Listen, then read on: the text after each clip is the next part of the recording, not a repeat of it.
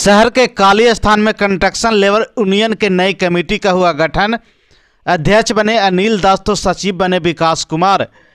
शनिवार की दोपहर बारह बजे शहर के काली स्थान में कंस्ट्रक्शन लेबर यूनियन के नई कमेटी का गठन किया गया है, जहाँ सर्वसहमति से हिलसा शहर के राज्य मजदूर संघ का जो कमेटी चल रहा था, वह कंस्ट्रक्शन लेबर यूनियन में शामिल कर लिया गया है।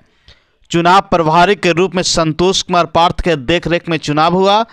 हिलसा प्रखंड के नई कमेटी का गठन किया गया।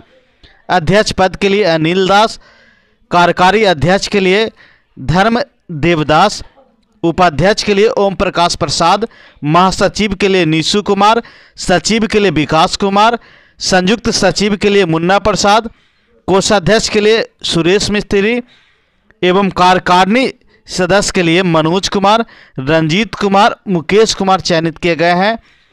जिला अध्यक्ष बाल कुमार ने कहा कि हम लोग प्रतिदिन काम करते हैं, वैसे में दैनिक मजदूरी, पलम्बर मिस्त्री, बिजली मिस्त्री बढ़े मिस्त्री, लेबर, राज मिस्त्री, घर निर्माण करने वाले, ठेकेदार, सभी लोग को मिलाकर यह नई कमेटी का गठन किया गया है। हम लोग सरकार की जो भी योजना है, लोगों को मिल सके, जिसके लेकर लगातार प्रयास कर रहे हैं।